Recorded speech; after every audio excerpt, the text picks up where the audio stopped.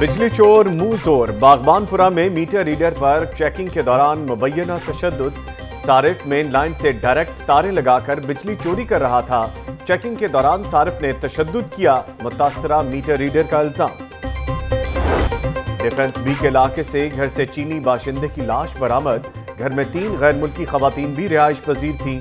ہلاکت کی وجہ سامنے نہیں آئی۔ پوسٹ مارٹم سے حقائق سامنے آئیں گے۔ A S P defence be اکرام۔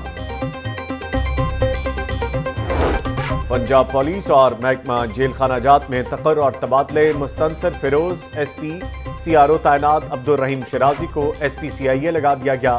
محمد نوید کو بطور ایس پی سیکورٹی تقرر، عرفان سلیمان کو deputy superintendent executive jail Sargodha تعینات کر دیا گیا۔ شہر میں پانی کے ترسیلی نظام میں بہتری لانے کا منصوبہ، فرانسیسی وفد کی ایم ڈی واسا سے ملاقات۔ شہر کے چند مقامات پر چوبیس گھنٹے پانی کی فراہمی ممکن بنانے پر تبادلہ خیال۔ اور ہائر ایجوکیشن نے مزید دو جامعات کے وائس چانسلرز کی تقرری کر دی۔